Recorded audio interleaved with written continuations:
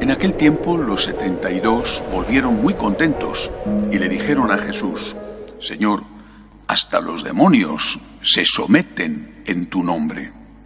Él les contestó, veía a Satanás caer del cielo como un rayo. Mirad, os he dado potestad para pisotear serpientes y escorpiones y todo el ejército del enemigo, y no os hará daño alguno. Sin embargo, no estáis alegres porque se os someten los espíritus. Estad alegres porque vuestros nombres están escritos en el cielo. En aquel momento, lleno de la alegría del Espíritu Santo, exclamó, Te doy gracias, Padre, Señor del cielo y de la tierra, porque has escondido estas cosas a los sabios y entendidos y las has revelado a la gente sencilla. Sí, Padre, así te pareció bien. Todo me lo ha entregado mi Padre y nadie conoce quién es el Hijo sino el Padre, ni quién es el Padre sino el Hijo y aquel a quien el Hijo se lo quiera revelar. Y volviéndose a sus discípulos les dijo aparte, Dichosos los ojos que ven lo que vosotros veis, porque os digo que muchos profetas y reyes desearon ver lo que veis vosotros y no lo vieron, y oír lo que oís y no lo oyeron. Palabra del Señor. Gloria a ti, Señor Jesús. Hoy celebramos la memoria litúrgica de Santa Teresita de Lisieux, Santa Teresita del Niño Jesús, esa monja carmelita descalza que entró en el Carmelo de Lisieux, en la Normandía francesa,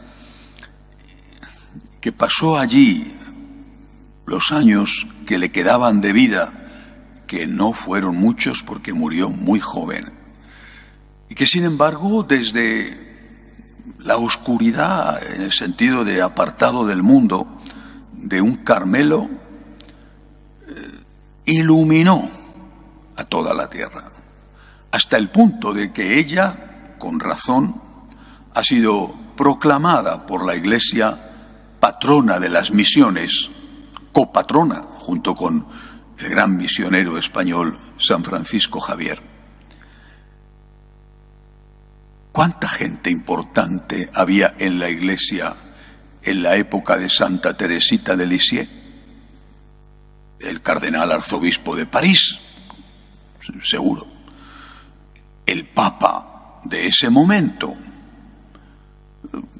Otros grandes personajes, cardenales, obispos. ¿Quién se acuerda de ellos? Sí, en los libros de historia están. Uno se pone a buscar cuando vivió Santa Teresita, quién era el Papa en ese momento, quién era. Sí, pero ¿quién se acuerda de ellos?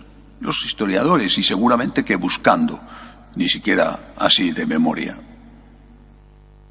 Santa Teresita, esta muchacha que escribe a petición de su confesor la historia de su alma, un libro que siempre hay que leer. Esta muchacha que vive su consagración sufriendo el terrible mal de los escrúpulos que le hacían padecer tanto y desear confesarse continuamente. Esta muchacha con una salud frágil que murió tan joven, esta muchacha fue luz para todos, sigue siendo luz para todos. Y es eso de lo que habla hoy Jesús. Te doy gracias, Padre, porque has escondido estas cosas a los sabios y entendidos. Ay de vosotros, doctores de la Sorbona, la famosa Universidad de París, o de eh, Roma, o de Alemania, o de... Ay de vosotros, que creéis que sabéis y habéis olvidado lo que esta humilde, sencilla monja de clausura sabe. Santa Teresita era carmelita descalza, por lo tanto, hija espiritual de Santa Teresa. Y tiene en su espiritualidad el auténtico, el genuino espíritu carmelitano. Y ella lo expresa con sus circunstancias, con su sufrimiento espiritual por los escrúpulos, con su sufrimiento físico, con los problemas de aquella comunidad donde todas eran santas, pero al fin eran seres humanos, ella lo expresa con un concepto que es para nosotros utilísimo, el concepto de la infancia espiritual, es decir, la confianza en Dios. Tienes que aprender a ser como un niño,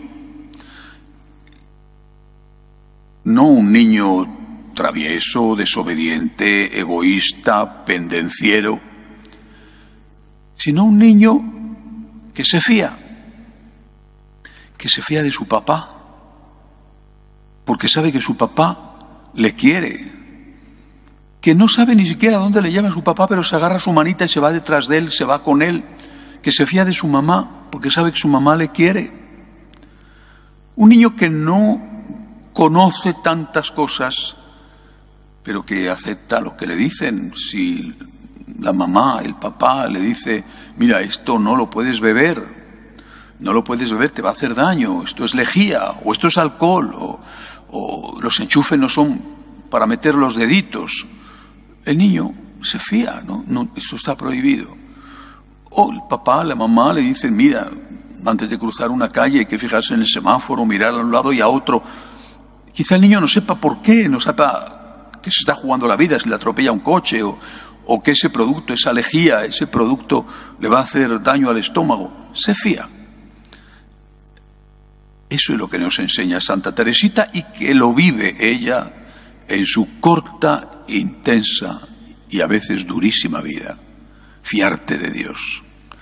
Y qué difícil es, qué difícil es. También para Santa Teresita fue difícil la enfermedad de los escrúpulos, las enfermedades de su cuerpo, fiarse de Dios.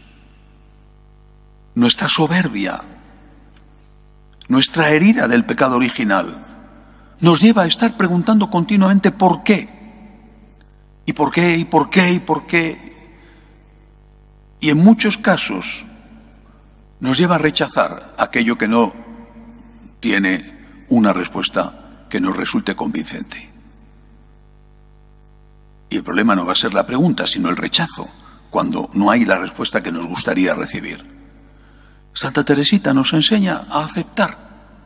Ella, una carmelita, una hija del Monte Carmelo, una hija de la Virgen María, ella